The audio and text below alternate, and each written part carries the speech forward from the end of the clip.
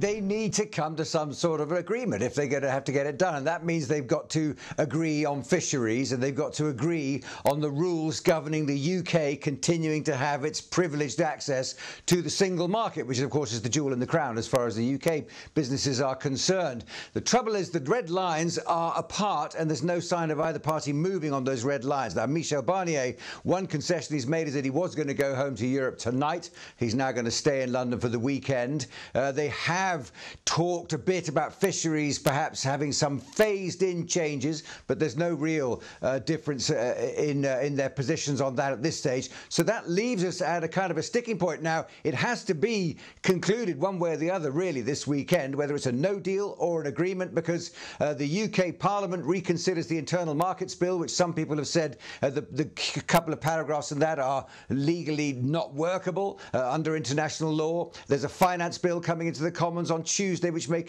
uh, include wording on, on trade tariffs. And of course, the European Commission has its last meeting of the year on Thursday. That is the last EU summit before the new year. So they have to look through any kind of deal by then, or they're just not there as an EU 27 to consider it at all. It would drift into 2021.